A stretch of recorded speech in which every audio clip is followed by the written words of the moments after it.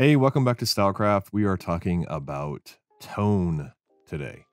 And what you see in front of you right here is my After Effects project where I created a style frame based around tone. So everything in here is black and white, uh, which is a lot of times the easiest way to work with tone uh, before we add color in. So we can come up with really um, awesome, amazing designs in black and white only. And that's where we're only focused on the darks and the grays and the light values. And it makes, uh, if you make a really powerful design with black and white gray values, then once you add color, then it's even more interesting to look at. It's even a cooler uh, design uh, to look at. So we are going to design uh, this style frame, but I'm going to do it a little bit different this time. Uh, we're not going to start from scratch. I'm just going to break down this project file and tell you how I created this. So Easiest way I think to do that is to probably just start soloing some layers here. So this very first layer here is just a very simple star map. And it's just an image from NASA or some telescope. And it's just a star map. And what I did here is it started like this. It's just a blue tinted image. I applied a black and white filter, which made it black and white. And then I just applied some levels and very subtle levels here. I don't even know if you guys can notice this in the recording, but um, if I turn it off, on, off, on, just a little bit more contrasty of an image is all I did by just applying some levels. And you can see the levels here. I just adjusted the blacks. Off, on. Okay, so that's the first part. Very challenging, I know, but uh, not really. So anyway, so then I uh, added a mask and this mask was set to add so that we're only looking at this top part of the image. And the reason I did that is I wanted to create more of a landscape back here um, and just have the star field up here. So um, if I did turn this mask off, you can see it's being shown through here, um, which is kind of interesting in itself too. That's, you know, kind of a different, totally different look. Um, but I wanted to create kind of like a landscape or maybe this planet's kind of sitting there. So to do that, I had to mask this background off and um, I'll show you why here in just a second. So the next thing is I added a texture, right? This is all this is is a texture. So if I reveal this, uh, let's see here, reveal in Finder, and I pull this up, you're going to see all this is, is just a texture. I actually love using this texture. I use this texture and quite a few of my designs. Um, I can't remember if I've used it yet this year with you guys. Um, but in some of, the, some of the stuff I've used on social media, like Instagram that I've posted, I've used this texture. So uh, for whatever reason, I love this texture and I come back to it all the time. It's just a very simple still image um, of this texture. So close that down. So all it is is it's brought into this uh, this composition, and you can see here um, it is set to a transfer mode of screen, which is why I had to mask off the stars in the background because the black values uh, disappear with screen. So if I did not mask those values out, you know, that's how we saw through the texture to the star uh, background. So I masked out the stars. I've got the the texture here. If I turn everything back on again, um, I have a mask here on the texture layer, but um, I kind of played around with that. So right now it's set to actually off, and that's what the, this image looks like. If I set it to uh, subtract, which is what I played around with, it makes the planet look a little bit more, oh, maybe ethereal, and that the the landscape um, is a little more subtle. So I like this look a lot. Um, I also like this look. This look looks a little bit more like the planet's resting on this terrain. Like maybe they collided or or something like that, which I kind of dug a little bit more. Um, but like I said, I could set this back to subtract. And that's the look there. So whenever designing uh, style frames, it's always fun to play around and just get totally different looks just by very simple things like here, just using a mask, right? So that's that part. And then I've got my 3D layer here, which this is just a Cinema 4D file with a simple mask on it as well. And you'll see here that this mask is set to subtract as well. If I hit it to none, you're to see the planet appear right there.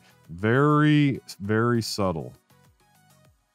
But it's just taking away a little bit of the planet down here uh, to make it sit better in with this terrain.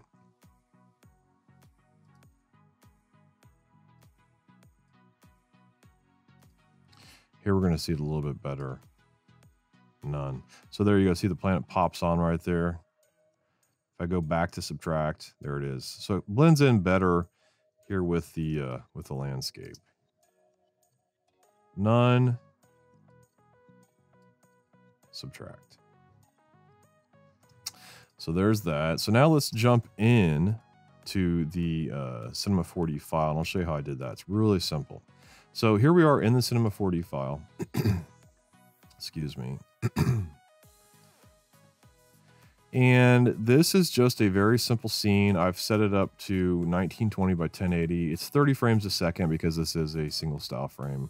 A lot of times I work in 24, we've talked about uh, in the past, but uh, 24 frames per second, or 30 frames per second, I'm sorry. Um, and this is really simple. So if I turn off the light here, you can see everything a lot better. Um, there's just a simple camera in the scene uh, just to get kind of the positioning I wanted on the planets. Um, there's a light, which I'll turn back on here in a minute. But all this is, is, is a sphere, which is my main planet, set to a radius of 100 centimeters. Um, I've got another sphere, which is my front planet, which I just brought, you know, forward in Z space right here. And I've got a back planet back here that's just set back in Z space here. And then I've got a ring and another ring, right? And these are really simple too. This is just uh, the inner radius is set to uh, a high value compared to the outer radius. So inner is 198, outer is 200. Um, and that makes this really thin ring. So if I, you know, decrease this, this is kind of like the default um, of a tube, which is what these are. But if I undo that,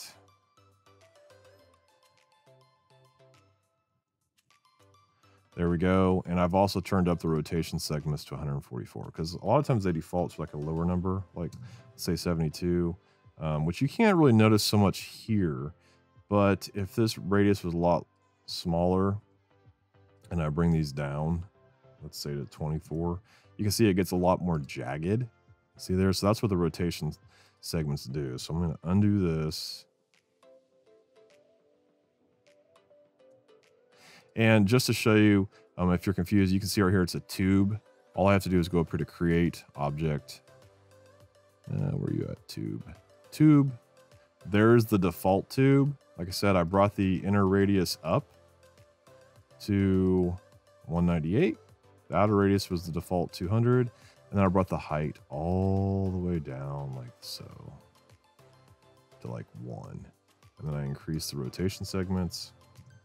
And there is how we created it. Very simple stuff. So it's just spheres, one, two, three spheres, and two tubes, right? That's all it is. And then it's two simple textures. And I'll tell you why here just a second why there's two textures. But all I did uh, for these textures is I just created a, I'll start over here. I'll make a new texture. Brand new texture just by double clicking down here, creates a texture. I turned off reflectance and I left color on and I just went into the texture here and I said, okay, I just want to add some noise. And there's my noise and I just can click and it opens up this noise texture. And all I played with was the global scale. So if you look right here, global scale is 100. If I go down, like let's just make it really a lot smaller. See how fine that grain gets? If I make it back to 40, the grain's going to get bigger. See that? That's all I did. I took it down to a grain scale of, what is this? 17%. That's all I did. And then I just drug it onto my sphere and onto this sphere, this sphere, and even the rings. It's one texture, right? But I created a second texture for this back planet right here and I'll show you why. So I'll turn my light back on and you'll see my light here is just an area light. That's all it is. So to create an area light, we just go up here to light, area light. It starts in the center and I just kind of moved it up moved it out. And I moved it up. And you can see here right here in the watch if you watch this planet here you can see what it's doing. Oh something like so. But with the light here you can see how bright this back planet is right? And inside of after effects when i applied glows and things like that this planet was really really bright in fact i'll just go back into after cinema and i'll apply the original texture that i applied to all these spheres and rings. I'll apply that back to this planet back here. And I'm going to save. And I'll go back in After Effects and watch how bright the planet gets right here as it updates. You see that? It gets so bright and I it was just it was too distracting to me. It should be much more subtle back there in the background. So back in cinema, I created a second texture just for this planet. And the trick to making this just a little bit darker is very simple. I just actually copied the original texture so it has the noise here in the color. And then I turned on diffusion. It defaults to 100%. I just turned it right down to 50 and voila. There's my darker planet back here. So if I save and I go back into After Effects, you'll see it get dark again. So that's all I wanted to do. If I wanted it even darker, I could go back into uh, cinema here. I could actually darken it up maybe just maybe down to 35%. Save, back into After Effects. Here it goes. There, I like that a little bit better actually. So that's all that is. Very simple. Three spheres, one, two, three, and two tubes that make up these rings. And then two textures. One texture that's applied to everything except for this guy. And this guy is just a duplicate of the texture with the diffuse channel set to 50%. Super simple. And a light. If you have no lights, this is what your scene looks like. Very blah. And that's because uh, cinema actually always puts a, a default hidden light in your scene so that everything's lit up. It's just so you can see everything. So if you're working in cinema and you're working with shapes, you have to be able to see them. So there's a default light there. It actually turns off whenever you add any type of light to your scene.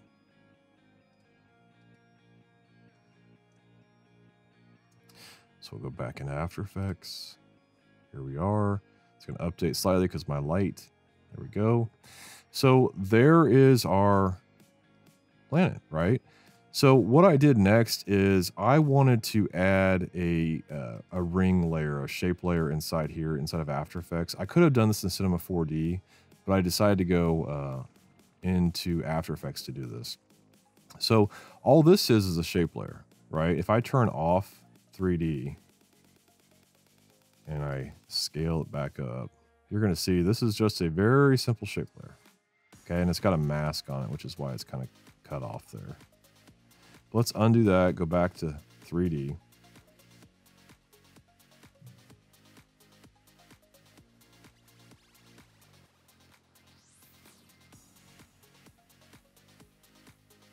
And there we are.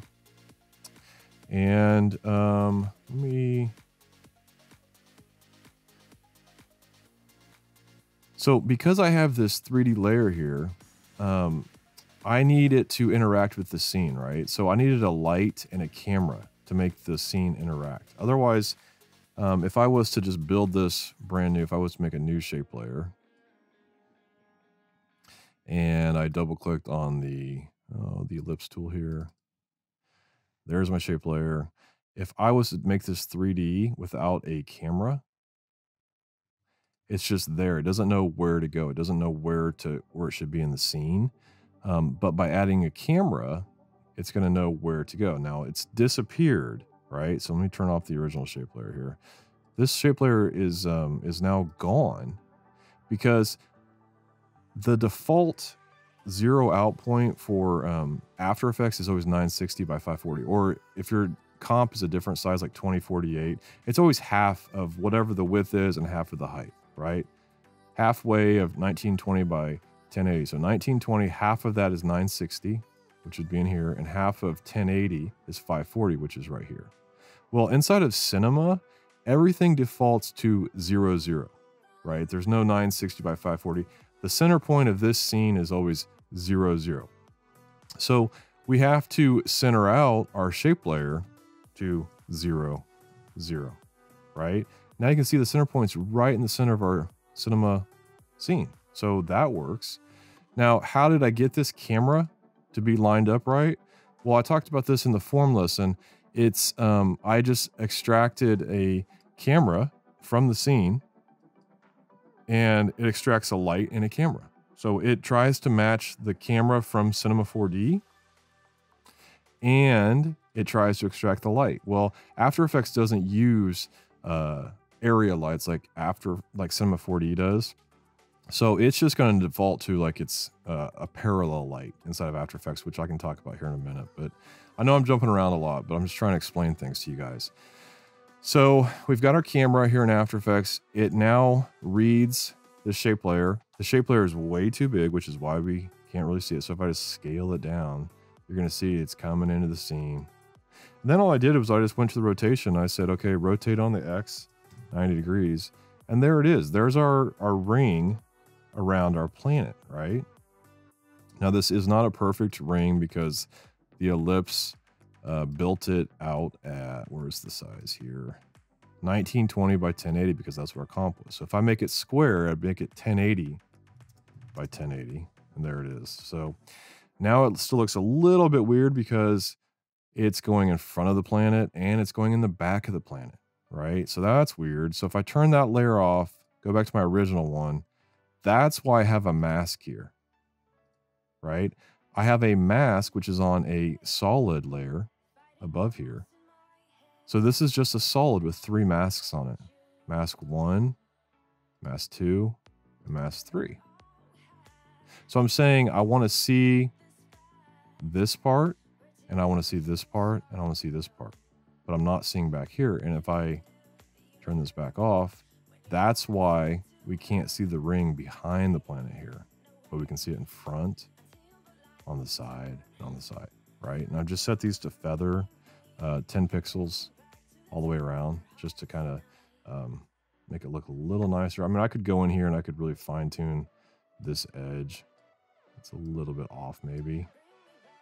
Um, but that's how we make the ring look like it's actually going around and then behind it.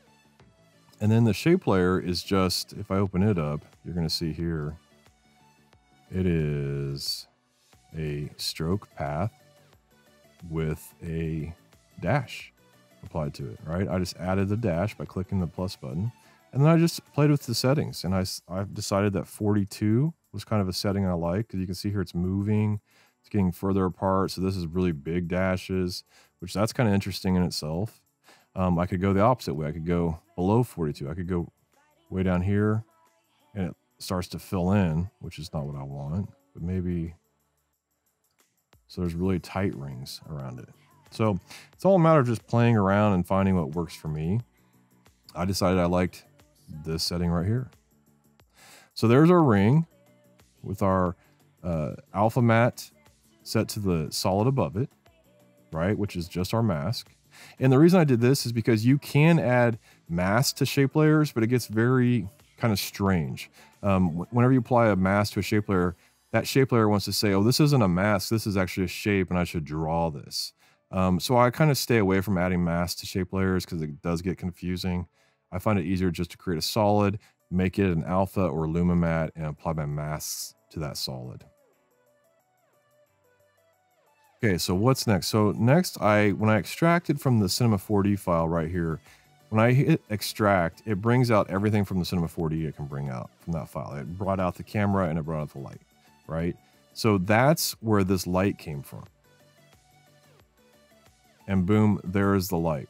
Now I'm going to extract again and I'm going to show you what I had to do to make this look the way it does. And I, I used the light because I wanted this ring, um, I wanted less focus on it on this uh, dashed ring we shape layer we made here in After Effects. So, you know, that's created by using a light. So without light, with light, without light, with light.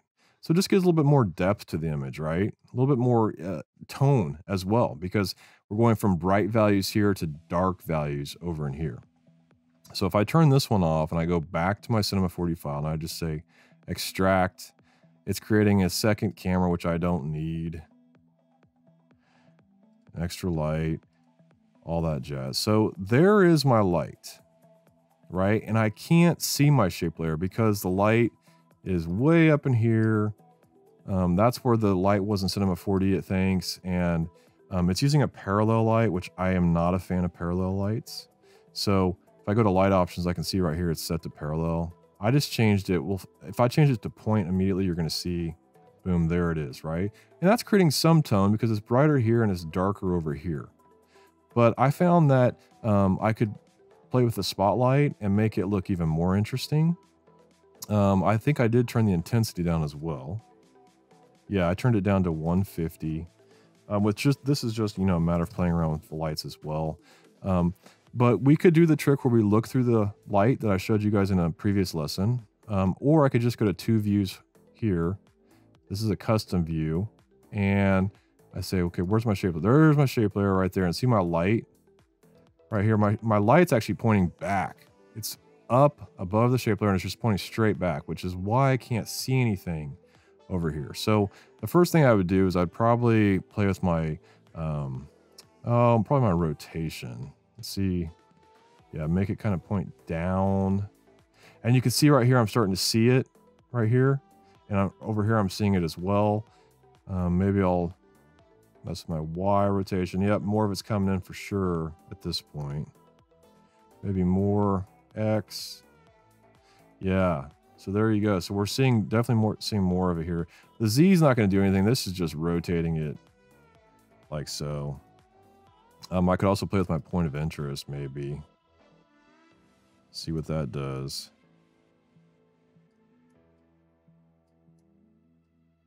Yeah, not doing too much there. So back to my rotation. Just going to play with this until I find something I kind of like. Kind of matches what I want to do here. Yeah, so that's a little bit darker uh, than my original right there, but that's pretty interesting as well. I do like that. Um, so that's how you come up with uh, giving the the shape layers or any, even any other 2D layers or two and a half D layers that are in After Effects. If I had some typography in here or something, you know, it's going to react to that light um, and it's going to make it uh, darker or brighter based on that light, and it's going to match it to the uh, light from from Cinema 4D. So um, let's see here. Let's go back in here. So now we've got, we've got the 3D in here. We've got the light. We've got the camera. Um, we've got some, we've got the background we added in already. We've got the terrain that we added in. So the next thing I'm going to do is add a little bit of atmosphere. So it's starting to look pretty interesting, right? Just from some very simple, uh, a shape layer and a very simple 3D and a very simple texture, which looks like a terrain, right? So the next thing I did is I added a little bit of um, smoke behind the planet here. And all this is, is this is from um, Action VFX, um, which the, you know, they've been generous enough to give us uh, some footage for you guys to use. So this is ProRes 2K footage uh, that you guys can use for these projects. Uh, it's really cool stuff. All this is, if I turn all these back off, actually, let me not do that. Let me show you reveal this in the project, and then I'll just bring it to its own composition here. And you can see this is just smoke that's blowing in from the side and then kind of dissipates up and outwards, right? That's all it is. So what I did is I just said, I just kind of, it started at zero on the timeline. It started at zero, which if I take it back to zero, it's gone, right? And I just kind of pushed it forward in space and I found that 59, I liked it, you know, about 59 frames into it. And all I did was I just moved it up here. So it starts down right here. That's the default position. And I just pulled it right up in here. And I liked the way it was looking right there. Just I wanted to create a little bit of atmosphere coming off of the planet, right? I could also even duplicate this now that I'm looking at it uh, and bring one in front of the planet um, if I wanted to do that and just give a little bit of atmosphere right here. And if I did that, I would probably just go ahead and mask it off. Oh, like so. And then I'd feather it quite a bit. And then I would get rid of this edge here, I would just maybe bring it up like that. So this is in front of the planet, and this is just behind. So I, I do kind of like that. It's interesting. Uh, the other thing I did is I brought in another piece of footage from Action VFX, which is this uh, ground fog. And this ground fog, if I take it to its own composition, here it is at zero zero. Really cool. It's just some fog, smoky kind of stuff they shot on black that just stays close to the ground. Really cool stuff. I just brought it in here, brought it to the top, and took it back about 169 frames because I liked it right in there where it was at. Oh, and I should also add that I added a levels effect to it, right? And this is without levels. This is with levels. All this is, is I just adjusted the black and the gray values, right? So if I reset this, there it is. You watch right here, undo it. It's just bringing the blacks in. Um, same thing was done to the smoke down here. Um, I think I just barely played with the gray values of it. Yeah, just to make it a little more subtle because without levels, there it is. With levels, it's more subtle. So you can always bring in atmospheric effects, but it doesn't have to be like in your face kind of effects. You know, they can be much more subtle and effective that way. So uh, again, the ground fog in the front, that's without levels. This is with levels. Very subtle atmosphere, but it brings a lot of depth and um, interest to this design because it is there. And, um, you know, it helps with the tone because it's white on black, right? So again, it's these white values that make us, uh, it draws our eye, our attention to that part of the frame because it's, it's a contrast of black and white uh, values. Okay, so if I turn the stars back on, there they are, they're back on. Let me show you the fog, ground fog is off and on. See how much uh, depth it really adds to this entire design. It makes all the difference, right? Even affects the 3D because it's above it and it's set to a screen mode. Um, so really cool stuff. I've got another solid layer up here, which is a, just a black solid with a giant mask set to, set to subtract. And all that is is just to darken up the foreground right here. I just wanted a little bit less there. We could have done this with a vignette, uh, effect, but this is the same kind of effect right here. I'm just, um, and I actually want to bring this down a little bit more. I like a little bit more of that foreground. So that's pretty cool. Um, and then I think is the very last thing, I just have an effect layer going on, which is right here. And if I change this to effects, uh, you'll see that it sits below the ground fog. Um, and that's because I did not like the way that it uh, affected the ground fog. I made it too bright kind of threw everything off. So I put it down here.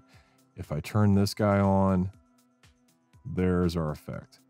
And seeing, yeah, I don't like the foreground fog that I added above the planet. So I'm going to go ahead and turn that guy off.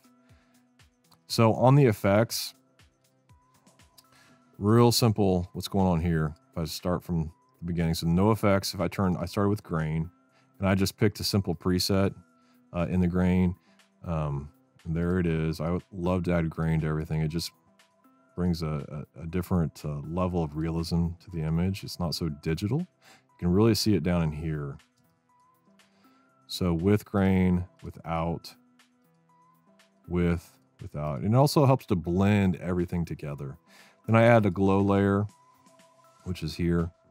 And this is with, without, with, without, Then I added a second glow. In the second glow, I turned the threshold uh, down so that it only really affected up in here and a little bit here. So with, without, with, without. So I added that. And then as a final effect, I added glow noise. And you can see here, I made it very vertical uh, versus uh, more of a uh, circle shape. And this is just to give this planet some extra noise.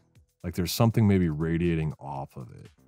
So, and this was just, I played around with the settings just a little bit and that was that. So if I unsolo everything, it should look exactly the same and it does. And there is our planetary system landscape um, created with tone.